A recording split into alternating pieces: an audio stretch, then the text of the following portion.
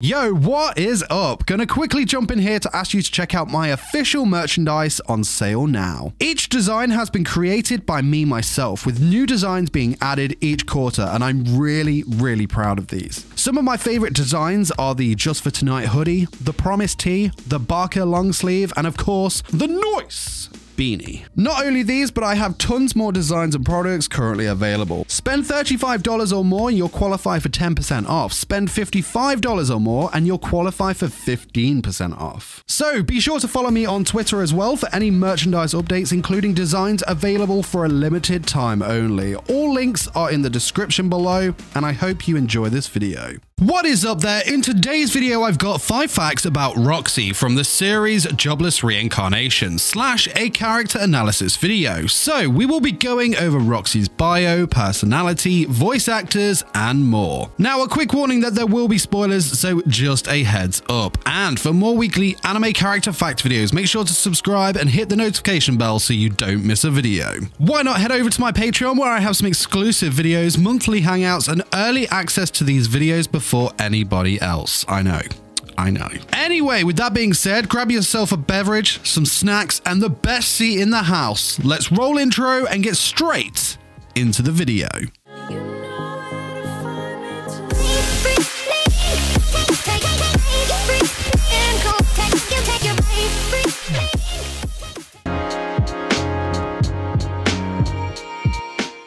Roxy is one of the main characters of the series. She is a Migurd and a mage who travels around as a tutor and of course becomes Rudeus's teacher or master as he refers to her. Roxy made her debut in episode 1 of the anime and chapter 1 of the manga. Her birthday is unknown. We do know that she was born in K373 and is currently between 40 and 50 years of age. Appearance wise, Roxy is short in height and has a very slim build. Unfortunately for Roxy, her body is very childlike and she often gets mistaken for a teenager rather than that of the adult that she actually is. And because of her race, she actually won't age until she reaches 150 years of age. Damn. She has long aqua blue hair that is worn down in twin braided pigtails. Her eyes are also the same aqua blue color. Now, attire wise, Roxy wears brown and white magician's robes along with the traditional wizard's hat that is black in color.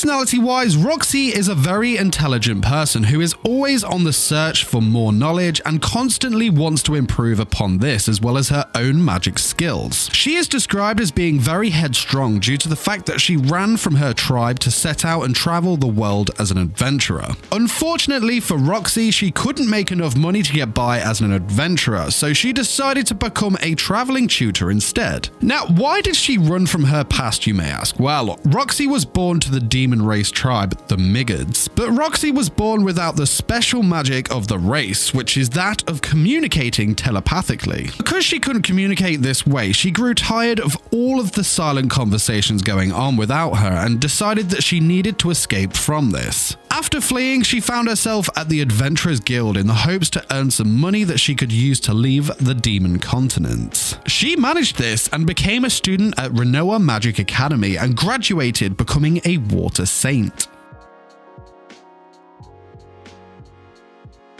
Roxy's Japanese voice actor is Konomi Kohara. She has voiced other characters such as Chika Fujiwara in Kaguya-sama, Miyu Ashihara from Domestic Girlfriend, Koyomi Kano in Bloom Into You, Mona from Genshin Impact, and more. Roxy's English voice actor is Michelle Rojas. She has voiced other characters such as Toka Yatogami in Date A Live, Ko Yagami from New Game, Shion in That Time I Got Reincarnated as a Slime, Kanan Matsuura from Love Live, and more.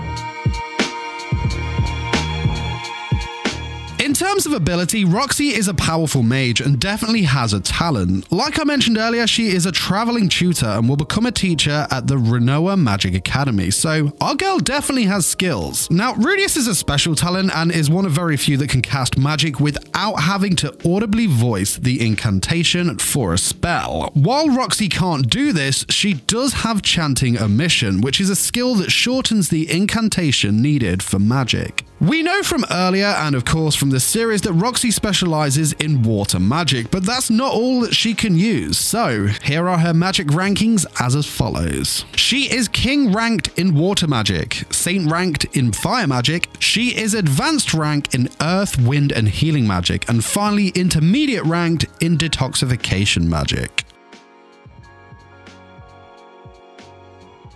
Okay, let's wrap this bad boy up with some trivia about Roxy, and uh, heads up as there will be spoilers here for the anime only watcher fans. Roxy does not like the taste of alcohol. She believes it to be too dry for her liking. However, she visited a town that sold sweet alcoholic drinks, and after trying some, she would often be seen drinking these whenever she got the chance. Apparently, our girl has a sweet tooth as well as she is also said to love sweets or candy. We mentioned Roxy's small stature earlier and how she is often mistaken for a teenager, but did you know that she does have a complex about her body? She feels that her body appears too frail and weak to be seen as attractive. I know a lot of you disagree with this, though. I've seen it. I've seen it on Twitter.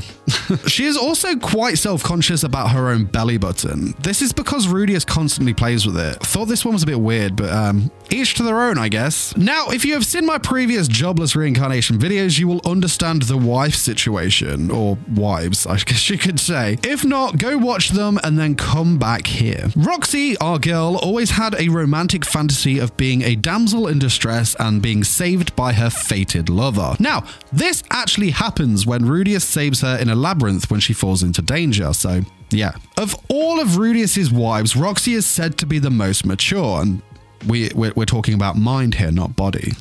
I see you guys again. I see you. this was seen with how she handled the situation of Eris becoming Rudeus's third wife after discussing it with second wife Sylphiette. Now, for a lewd one, I know you guys like the lewd ones. Roxy is said by Rudeus to be the most technical in the bedroom. Nice. Just like her thirst for knowledge with magic, the same can be said for the bedroom antics. Oi oi. Roxy is always offering alternatives to improve her performance in bed and is always researching and trying to improve. Rudeus will eventually create his own religion, and Roxy was the first goddess he worshipped, dubbing her the goddess of wisdom. Her holy pantsu are also on a shrine in their basement. Nice. Well, thanks for watching. That was my video. Five facts about Roxy from the series Jobless Reincarnation. Let me know in the comments who you would like to see next. Of course, a huge shout out to Warwick, Animator22, and Brian for supporting me on Patreon. Don't forget to head on over there yourselves, check out the amazing rewards on offer, including a super special awesome exclusive series for Patreons only. If you enjoyed this video, don't forget to smash the like button, follow me on Twitter, Twitch, and Discord. Links are in the description below, and subscribe for more anime content. Till next time, my fellow weebs, peace!